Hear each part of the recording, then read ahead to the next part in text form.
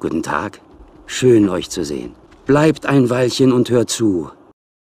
Servus und Hallo zu Fallen Enchantress Legendary Heroes. Ähm, was hat sich getan? Wir haben Xelessa hier vor dem nächsten Quest, Freerider Compound. Äh, da möchte ich heute reinschnuppern äh, und werde zuerst einmal äh, rushen, was ich bekommen habe durch das letzte Quest, nämlich Meteor's Shrine. Ich habe mich doch dafür entschieden. Denn plus 2 Growth und plus 20% Hitpoints sind besser als Alexandros, wie ich finde. Ähm, denn es ist wirklich auf jeden diese, diese Hitpoint, dieser Hitpoint-Bonus und der verstärkt viele äh, Gruppen, also viele von unseren Teams hier um ca. 120 Lebenspunkte. Das ist doch einiges, wenn man sich denkt, pro Team 120 Lebenspunkte, nice. Ähm, dauert noch drei Seasons. Ich will, dass es schneller ist. Rushen wir das Ganze. Und ihr seht hier jetzt, alles was rot ist, ist neu dazugekommen. Und das hat dann, wie gesagt, wirklich durch die Bank. Okay, da ist mehr rot, weil da gerade äh, die gerade heftig am Fighten waren. Ja, ähm, apropos Norak, machen wir gleich mal den nächsten Turn und schauen wir mal, ob die uns angreifen. Farewell.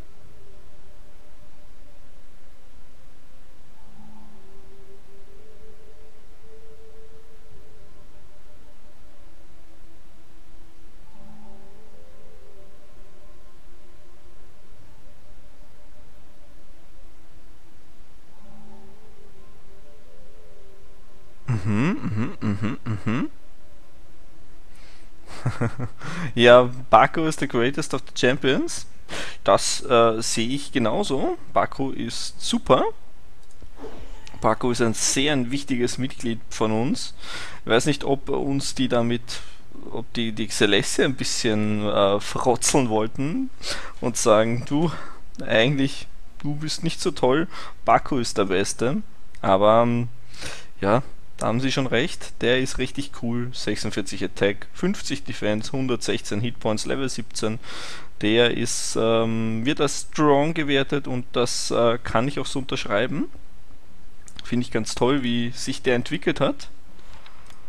Und äh, die haben jetzt auch richtig schöne Hitpoints. Was ich jetzt noch machen werde, bevor ich das Quest angehe, ich werde uns mit Spells versehen. Summon 9 Unit Spells, genau.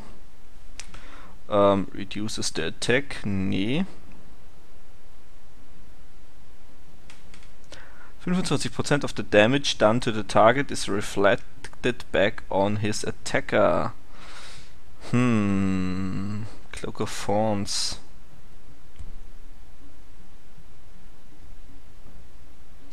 Ähm, an sich nicht schlecht an sich ganz cool. Celestia kann er sprechen. Auf wen kann man da sprechen? Ähm, äh, selected Target, Celestia oder Bakko. Wer kriegt eher den Schaden ab? Bakko, weil er vorne steht, würde ich sagen. Chuck, Cloak of Phones. Perfekt wir haben jetzt so viel ähm, Mana bekommen in letzter Zeit, dass wir uns da wirklich gar keine Sorgen machen müssen, dass es da zu einem Engpass kommen könnte. Clock of Phones. Das können wir sogar noch einmal casten.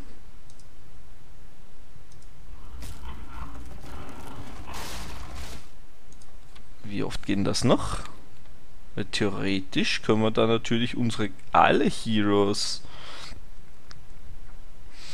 ähm, damit ausstatten und alle unsere Heroes mal verbessern. Machen wir das auch bei Norak. Spells. Cast Spell. Äh, Norak. Ah, Corpse Spider dürfte auch. Witzig. Mm. Mal Norak.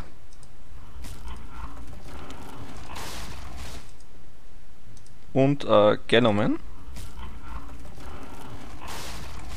Sehr schön. Das ist, ah, es funktioniert nur auf sichtbare Gegner auf sichtbare Einheiten wahrscheinlich. Ähm, interessant, interessant. So, warte mal, wo habe ich denn sichtbare Einheiten? Hier, meine Rock Albino Spiders. Wenn ich da jetzt einen Cast Spell mache, okay, kann ich jeden auswählen, außer den zweiten Cavebären. Mhm. Okay.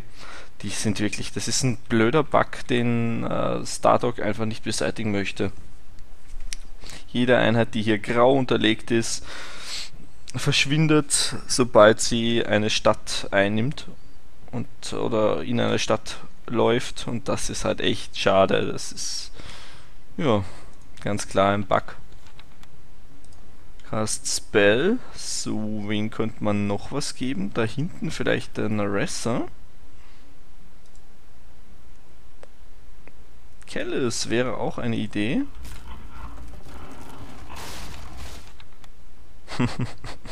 ja, aber ganz schön, ganz schön krass, alle da auszurüsten. Hm. Hm. Ja, komm, komm, machen wir das. Aber langsam äh, werde ich mich beherrschen. Na komm, Freilos gehen wir das auch noch. Freilos hat eine Armee bekommen. Ich habe da so ein bisschen was geändert. Der kann auch gleich sich den Schatz hier schnappen. Plus 1 Fame und 2 Hit Points. Ganz nice. Und dann wieder weiterlaufen. Der soll da hinten mal so die ganzen Schätze abklappern, die es hier gibt. Die Fralus Army. Und der hat ein paar Works mit dabei, aber auch starke Tiere. Und bei dem habe ich geschaut, dass alle seine ganzen Leutchen, die er mit dabei hat, auch ähm, überleben, also auch eine Stadt besetzen können, eine Stadt einnehmen können, denn auch auf das ist dann so achten, sollten uns äh, einer von den beiden da mal den Krieg erklären. Das wäre nämlich dann nicht so cool. Äh, Unit Spells. Evade, das haben wir bereits. Dodge 2 äh, per Air Shard und Air Shards haben wir einige. Um, target unit receives uh, 20% plus 10 per F-Shot resistance versus fire, lightning and cold damage. Nice one. Um, gerne an Baco.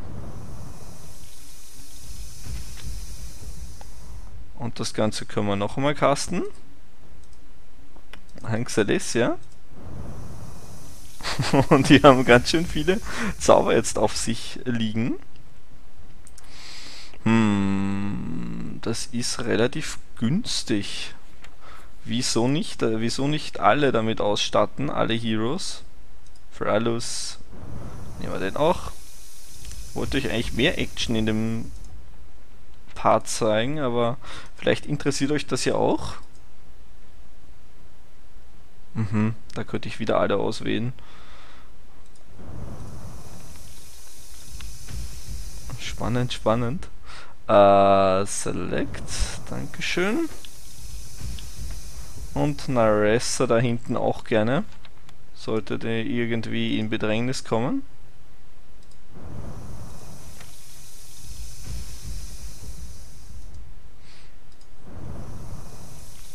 Guti. Norak. Ne, der gerade nicht. Narissa, Norak, Fralis hat das bereits. Ja, okay. Dann machen wir mal den nächsten Spell. Vielleicht interessiert euch das ja auch, was es denn alles für coole ähm, Sachen gibt. Minus 5 Hitpoints,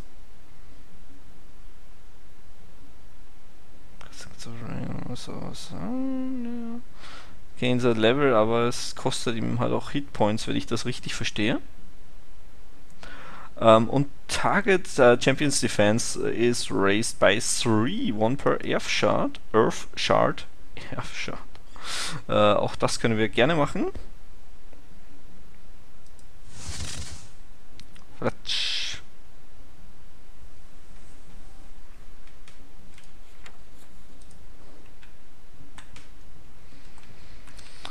Ähm, wo sind Celestia und Baku? Beide?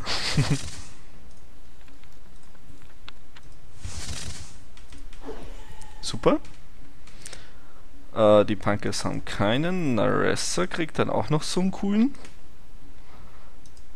äh, Resistance Vorteil. Genauso wie Kellis. Norak kriegt dasselbe.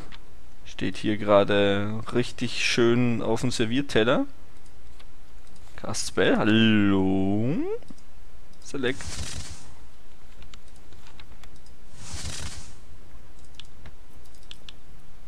Gut, äh, müsste alles sein. Fralus hat es gerade bekommen. Der hat jetzt auch schon ein paar schöne Spells auf sich. Dem kann ich Evade auch noch geben. Und Shot, Cast Spell, passt. Kriegt da auch noch. Ja, das heißt, die kriegen jetzt ganz schön Unterstützung. Wir haben ja die Mana-Punkte, das sollte passen. Ich könnte sogar noch mehr geben. Also ich könnte sogar den ganzen Tieren auch geben, die Spells, die Unterstützungen. Was äh, ganz nice sein könnte, aber das ist jetzt mal zweitrangig. Okay, das sieht aus wie die Walkbows. Auch interessant. Norak hatte ich gerade. Evade, genau. Ihn auch hier. Na gut. Ähm, Naressa, wo bist du? Du befindest dich gerade im feindlichen Territorium nach wie vor. Und bist dabei, äh, so ein bisschen hier auszukundschaften. Genauso wie da muss ich rausscrollen, weil ich sie leider nicht genau sehe. Unsere superschnelle Armee Black Strikers Army, die besteht aus lauter Black Strikern und einem Wolf und die sind alle sowas von sauschnell. Die haben fünf Fortbewegung, das heißt, äh, wie die Feuerwehr bewegen sich die und können dazu auch noch relativ gut überleben. So zumindest mal der Plan. Und die sollen mal äh, hier weiter aufdecken, was sich denn noch in der Nähe befindet beziehungsweise wo dann sich äh, Rezone befindet. Vielleicht möchten wir da auch mal in den Krieg einsteigen. Einfach mal wissen, äh, Know Your Enemy ist da wieder mal ähm, wichtig. Und das werde ich, das werde ich ähm, weiterverfolgen. Ja, Norak. Oh, die sind ja süß.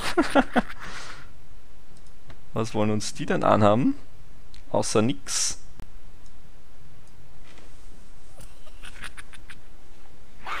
Battle.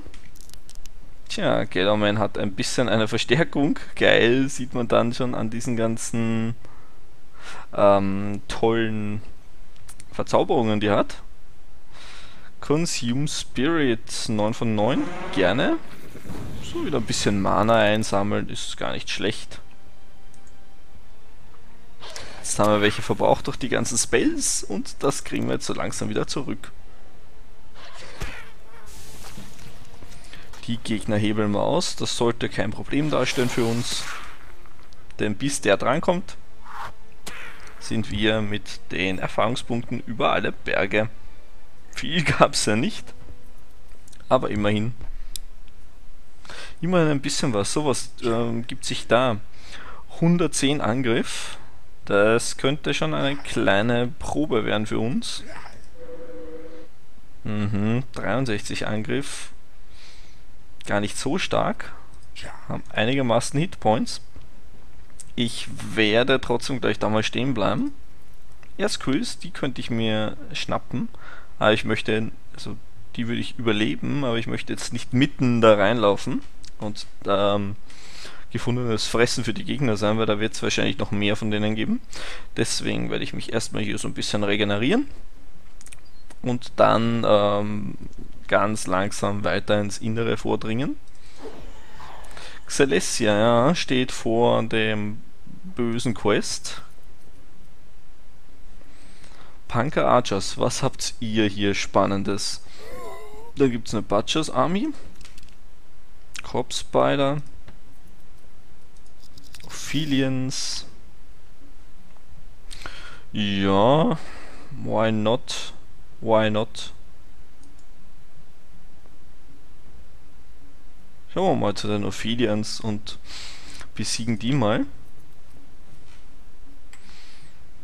Und äh, ja, Norax Army genau, der steht da. Ich werde speichern. Ganz wichtig.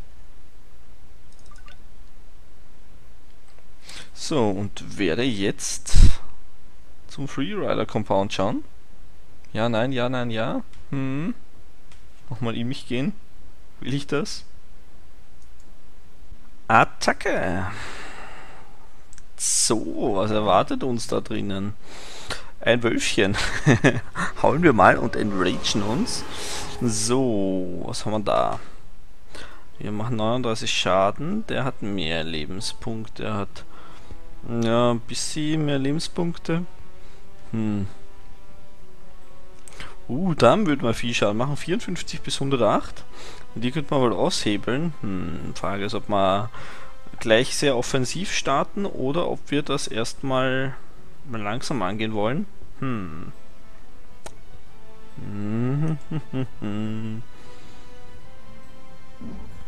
Amber 33, sehr schön. Zweiter Amber. 18. okay. Komm, jetzt macht's im Blatt. Dankeschön. Bakko, der kommt nicht ganz so weit. Könnten Fireball verwenden? Nee, das klappt nicht. Dann Confusion. Confused, confused, confused. Alle quer durch. So. Da gibt es erstmal auf den Sack für uns. Aber die Rache folgt auf den Fuß durch die Cave Bear Army. Oder durch den Cave Bären. Der hat auch schon 124 Lebenspunkte. Heftig, heftig. Jetzt muss er allerdings ordentlich einstecken. Äh, Celestia hat nichts zum Tamen diesmal. Ich könnte eine Blizzard Scroll verwenden. Naja, das macht wenig Sinn. Oder uns heilen, aber das ist, ähm, äh, müssen wir auch dabei mal lassen. Pull down to earth, lightning bolt. Hm, wäre eine Idee. Das könnten wir fast machen. Oder Blindness. Ähm, im, im, im, im, im, im, im,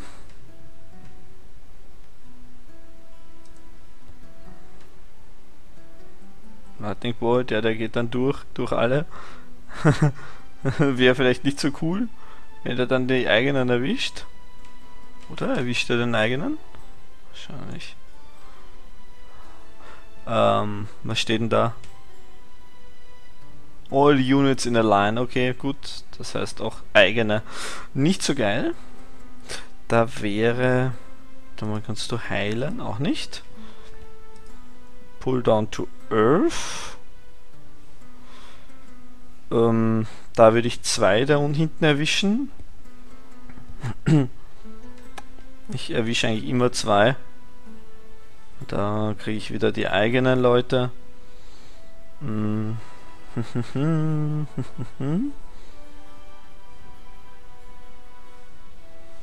Es bringt mir auch nicht allzu viel.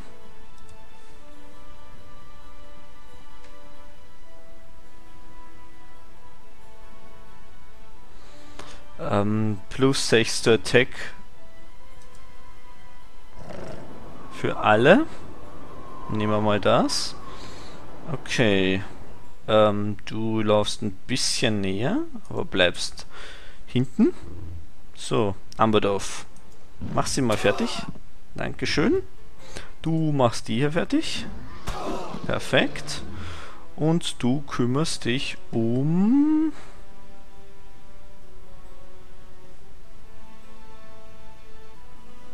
Um, um, um, um, um.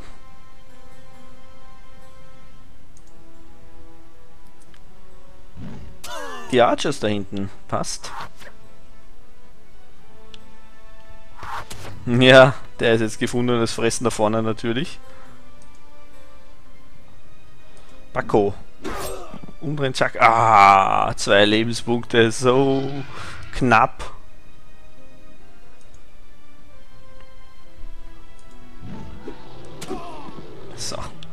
11. Kommt zurück um... Ah, okay. Okay, okay. So, Wolf. Du darfst auch mal. 14. Amber schaltet mal die zweiten Archers da hinten aus. Der Amber schaltet... Hm.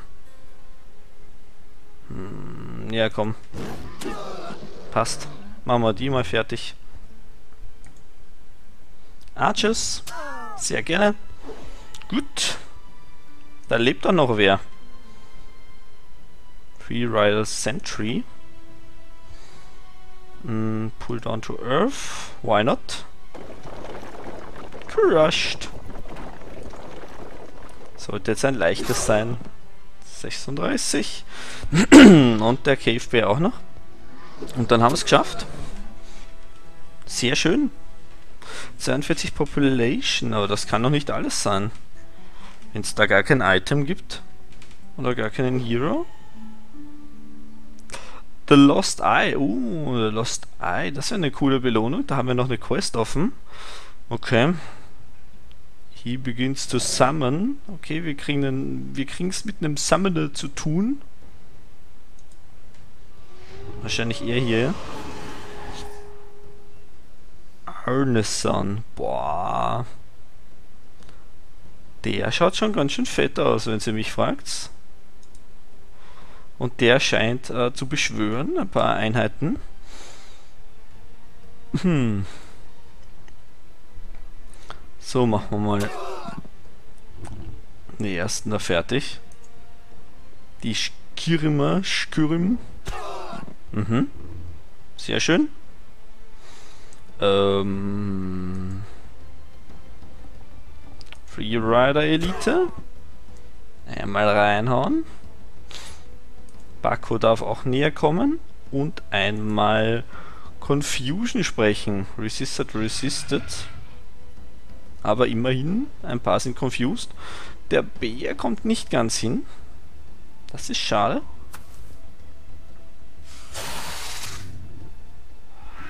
So, Xelesia. Xelesia. Oh, wir können was tamen. Ich habe jetzt verpasst, den zu tamen. Ähm, okay. Dann mach was Alternatives. Eine Blizzard Scroll wäre natürlich cool. Er kommt gleich dran. Wird irgendwas machen. Wir könnten den blinden. Pull down to Earth. Counterspell. Must enemies. Okay, geht nicht. Ähm, Gas of Wind, Adjusted Enemies, ja, nicht so wirklich. Lightning Bolt, auch das klappt nicht. Pull down to Earth, da kriegen wir wieder nur zwei Einheiten. Eventuell den Boss. Ja, natürlich lustig, weil dann kann der keinen, kann der nichts äh, spawnen, also nichts nö, erschaffen. Schauen wir mal, ob das klappt. Crushed. Passt. 21. Clumsy. Oh! Uha! Leute! Leute! Hört auf! Auf den Amber zu gehen. So, Amber. Ähm, wen machst du platt? Freeriders? Stell mal da her. 20. Amber. Stell dich. Hm, wohin? Oder den draufhauen. 28 und tschüss. So, Amber. Da ist die Celestia. Also ich würde gerne die Freeriders aushebeln, einfach damit wir die nicht... Nein, Dodge ist doof. Ah, verdammt, Dodge ist doof. 8 Hit Points. Fireball Scroll, Skills, Shield Bash. Ähm, das ist all, das ist doof und er kommt auch nirgendwo wirklich hin. Der gute Bako. Ah, mir schwant Übles. Sagen wir es mal so. Cave Bear. Jetzt sollten wir mal ein paar Einheiten da platt machen. Dankeschön. Der Wolf kommt nicht richtig wohin. Naja, ähm, lauf mal nach vor. Lauf mal nach vor. Jetzt sollten wir wieder dran sein mit den Amberdorfs, richtig? Richtig. Amberdorf, du könntest den Boss platt machen. Nee, geh mal auf die Freeriders, weil sonst ist gleich Schicht im Schacht für unseren Amberdorf. Das wäre doof. Ah, leben immer noch. Ich glaub's ja nicht. Könnt ihr den bitte mal platt machen? Dankeschön.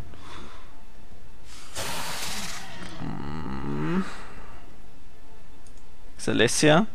Tame. Dankeschön. So. Boss. Preparing to cast. Äh, schauen wir mal, ob er noch zum Casten kommt. Schnetzeln wir mal rein. Bärchen. 8 Schaden. 9 Schaden. 2 Schaden und tschüss. Ja, perfekt Level Up für Celestia. Und sonst hat es auch ein paar Erfahrungspünktchen gegeben. Wir haben wieder Population bekommen. Und was zu verkaufen. Celestia hat ein Level Up. Hihi. Coole Sache. Ähm, was macht Celestia? Air Disciple. Nee, ah, letztens habe ich glaube ich Initiative gemacht. Dass sie einfach öfter drankommt. Was auch nicht blöd ist. Komm, das mache ich noch einmal. The Lost Eye. Nice. 30 Fame. Wir kommen näher an unseren nächsten Hero. Okay, dankeschön. Hm, sehr hübsch. Sehr hübsch, sehr hübsch. So, 400 Fame brauchen wir. Nice. Celestias Army. Gratuliere, das war urknapp.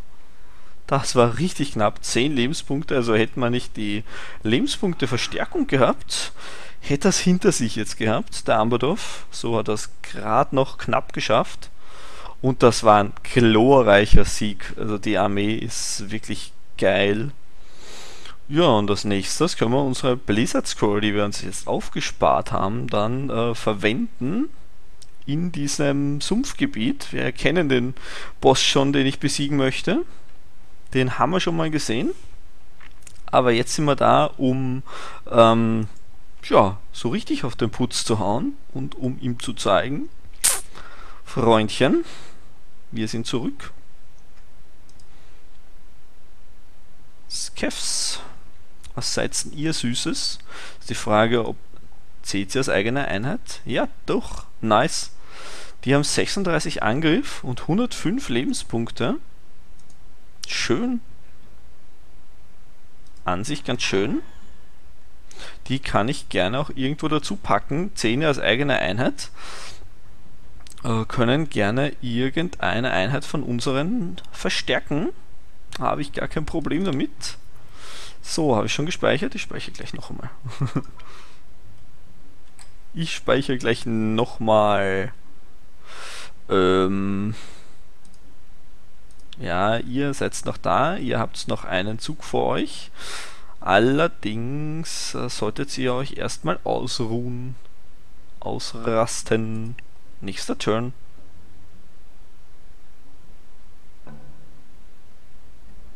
Research ist fertig.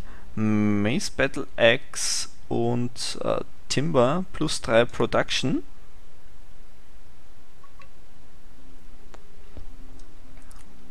Das bringt uns näher auf unserem Weg in Richtung Army Size. Beim nächsten Mal haben wir es dann. Was haben wir da noch? Ein First Aid Kit, eine Pike Longsword. Das ist auch super. Accuracy for Trained Units, das ist auch geil. Auch das, äh, auf das freue ich mich schon.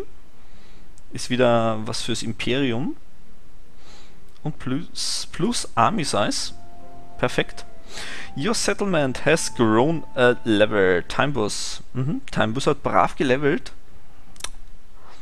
Und jetzt ist die Frage, was können wir machen? Growth ist immer noch bei 0. Das ändert sich auch nicht.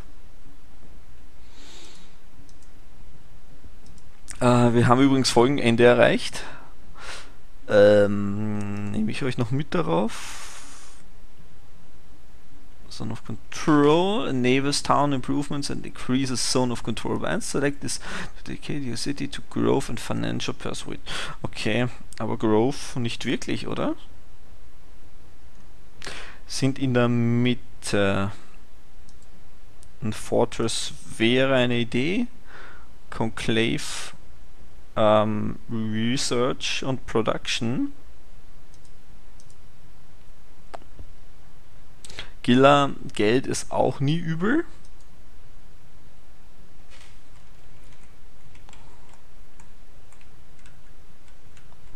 Allerdings so eine Zone of Control wäre schon noch nice, weil vielleicht kriegen wir noch den, äh, die Tempelruinen da, den Außenposten. Machen wir das.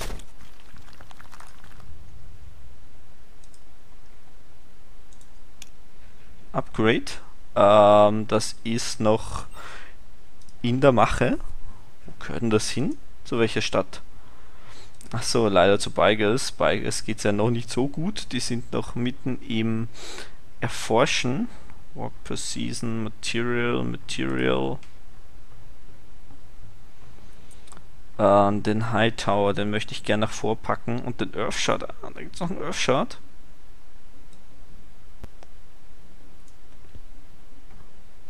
Dann gehen wir das Material weg und nehmen den Hightower ganz nach vor.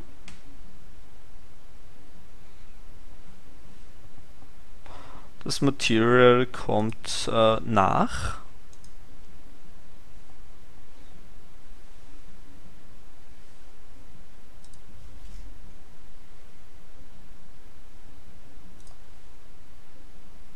Was habe ich denn jetzt abgerissen? Ähm, hallo? Hm. Irgendwas habe ich gerade abgerissen, irgendwas, was mir Material geben sollte. Ah, hier. Danke. Das bauen wir dann nach. Äh, und den Earthshot, das heißt, ich muss das Material auch noch abreißen und den Air-Altar nach vorgeben. Genau. So, das zweite werden wir dann also auch noch einmal bauen. Gut, passt. Gut, Folgenende haben wir erreicht. Wir haben wieder neue Pioniere, das ist sehr schön. Endlich wieder weiter setteln. Ich bin ja sehr stark am überlegen, ob ich nicht mich einfach mal ganz dreist da unten hinsiedeln soll, wo es diese coolen Tempel gibt. Äh, Water Shard und Fire Shard ähm, und da auch nochmal nette Oger und so weiter. Einfach mal kackendreist da in die Mitte reinsetzen. ähm, ich werde aber eher. Was ist denn dieses rote Pünktchen da? Nicht erkennbar, was da in der Mitte ist. Ist jedenfalls kein Typ, der sich hierher gesetzt hat. Nee. Ähm, ich werde aber wahrscheinlich mich hier einfach irgendwo erweitern. Da gab es ja noch einige Sachen, die interessant waren. Vor allem äh, das Sumpfgebiet, denn auch das besteht ja, gehört ja jemandem, das gehört in dem Fall diesen Sumpfeinwohnern hier, dem fetten Monstrum und wenn Celestia dem den Gar ausgemacht hat, sind da einige Felder verfügbar und da würde ich mich gerne hinsetteln. Und da gibt es jede Menge Möglichkeiten dann wahrscheinlich, wieder sehr viele gute Plätzchen.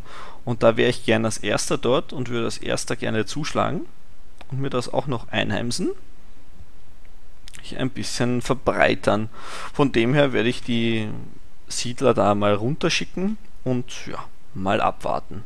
Gut, ich sage euch mal danke fürs Zuschauen der X-Large-Folge lasst mir gerne einen Kommentar da. Und ähm, ja, dann war das wieder ein äußerst erfolgreicher Kampf von Celestia. Die wird wieder weiter schauen und eben in Richtung Sumpfmonster gehen. Ähm, und da nehme ich euch dann natürlich wieder mit. Könnte schon in der nächsten Folge soweit sein. Schauen wir mal, wie es sich ausgeht. Wie gesagt, danke und man sieht sich.